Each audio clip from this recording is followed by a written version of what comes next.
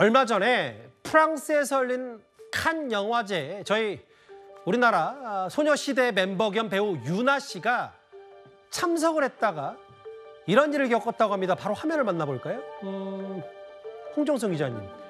레드카펫을 올라가는 유나 씨 곱게 드러스 차려입고 이제 영화제 안으로 들어가려고 하는데 시상식에. 근데 이제 저 백인 여성으로 보이는 경원으로 보이는 저 여성이 뒤돌게도 못하게 한다. 저것 때문에 과거에도 저 여성이 이런 행동을 했다. 인종차별 아니냐 논란이 있었어요.